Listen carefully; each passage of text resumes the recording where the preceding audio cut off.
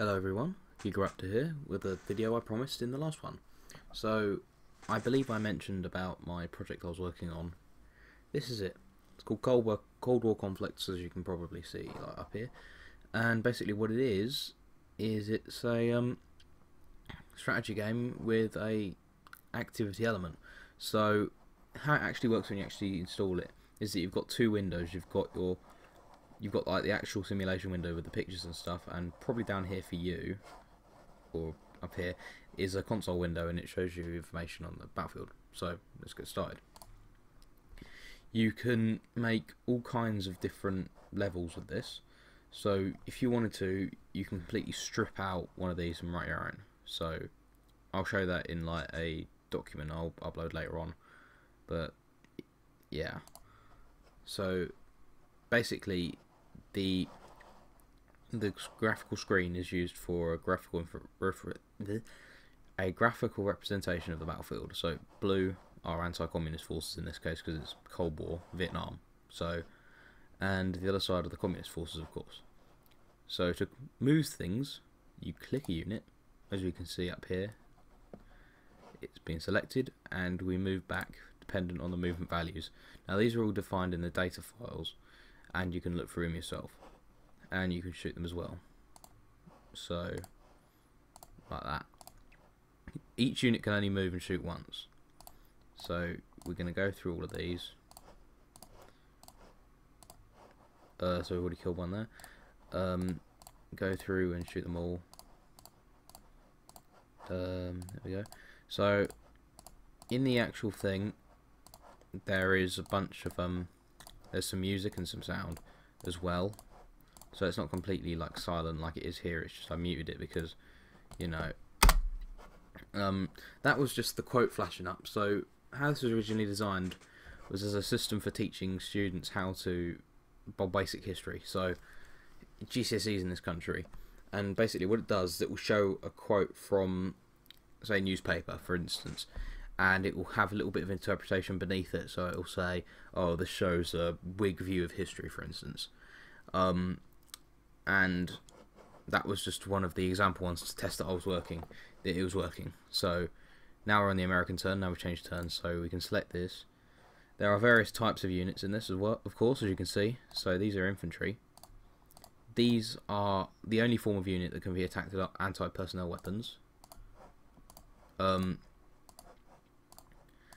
uh, yeah, they they tend to be quite well. They tend to be quite plentiful in the scenarios, but like honestly, you write the scenarios in JSON, so you can just do that yourself. And um, yeah, so um, there's other types of units as well. You've got mechanized, which are like light vehicles. They'll be affected by terrain, um, and they have they're basically generally used for like light vehicles and things like that as a means of showing. This is all defined in like things. Then you've got emplacements, which are static units which don't move but are generally quite powerful. So I think this is a um, yeah 82 millimeter mortar. The other one down there was a machine gun. We'll go on. Um, recon, which are generally fast units that are quite weak. They don't really have much of a use in this version of the game. Um, there's did I say tanks? Yeah, I said tanks. I think tanks are basically what you think they are. Uh, they shoot things and they kill things. Then you have got helicopters, which are quick and quite powerful. Artillery, which is like insane but generally can't move. So I have a bunch of um, different different kinds. So there's like I think there's this is the Duster. Yeah, so that's an example of a mechanized. That's a Cobra, I believe. Yeah, these are BRDM recon vehicles. Oh, I'm playing that. uh, yeah, the UI isn't very good, but you know, I never was a drawer. So, essentially, how combat is computed is that it will take a unit. So let's let's choose this infantry for instance. We'll move it forward just to be clear. So you'll have two sides in each firefight. You have a shooting side and a receiving side. Uh, the shooting side obviously fires first. So what it does is it uses the A-star algorithm built into this to trace a path, the shortest path to the other unit, and then if it's within range um, of the of the required um, type, because there's two types, of course. Like I said, there's anti-personnel, and then there's anti-tank, which is for taking out anything that isn't infantry. If it's in that range, then it'll work. And from there, it rolls dice the amount of time specified in the data file for how many shots I've got. So, for instance, this here might have, I think it's four. Um, but either way, like they lost, and it will shoot them. It will take into account to hit, which is four plus every every time, so like four, or five, or six. Then there's saves, which are dependent on things in data files, and then last of all, if a unit is in a a jungle, which is like one of these, or in a village, which is one of these, it will have a cover save as well, which is generally five plus, I think. So basically, when that's done, it'll look at this combat resolution. So, so you might notice have noticed in the console, although I wasn't looking, things like getting impetuous and things, and this generally mean this generally like influences other morale. There's also panic states and um, oh that's weird. Um, there it's quite buggy. Um, there's panicked, which stops the unit shooting and moving. There's stunned, which stops the unit shooting and moving, but is a bit more, you know, meaty than that. Then there's pinned, which stops the unit moving for a turn. There's route. Oh, I've already moved that, am I? I'm a retard. Um, and then there's route, which basically make, makes the unit, whenever you select to move it, move to the bottom right.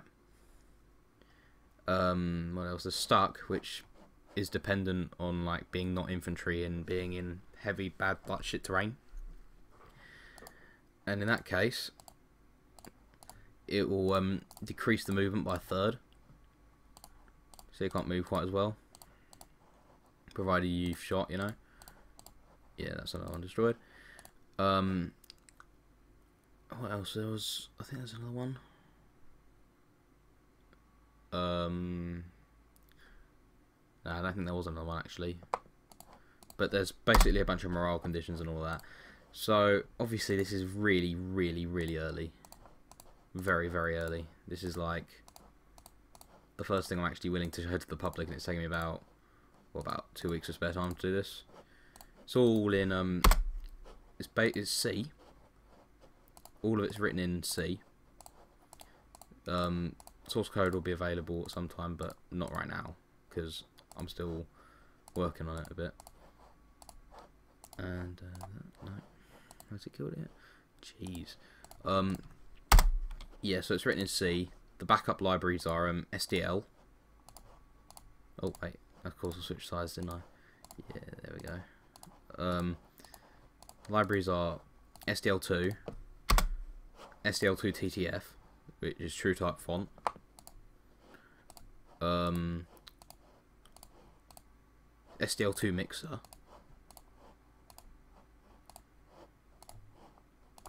There we go. Um, what else was there? There was um, I think there was another one. I think it, might have been. It was one of the SDL ones.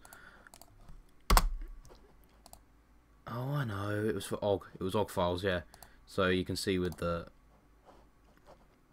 You can see with inside of the folder like all of the different DLLs.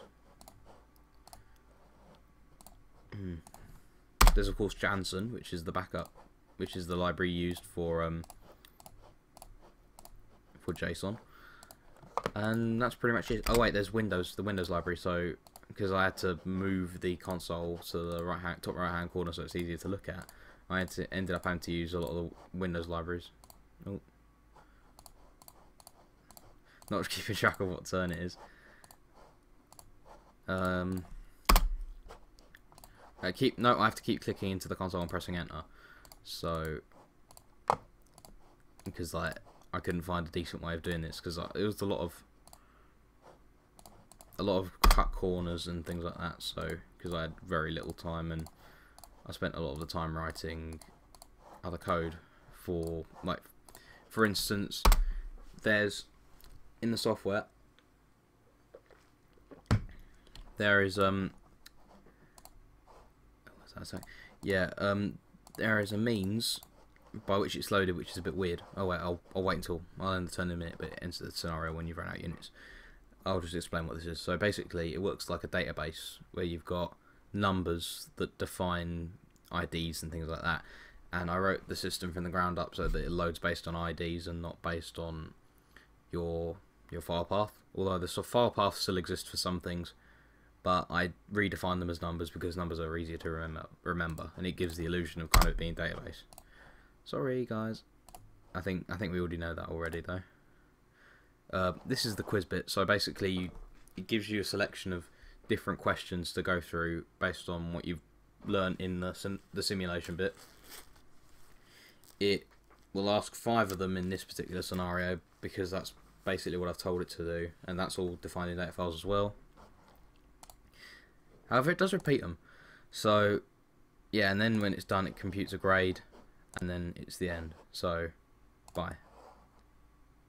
Because it, it tends to crash, so because of like I put the get trial on that. So yeah, this was this was it. So thanks for watching. Uh, tell me what you think of it. It's probably pretty terrible. I know it looks bloody awful, but you know I was never was an artist, and I was more focused on other things when I was writing this. So yeah, not designed for for being. It's not the greatest game in the world.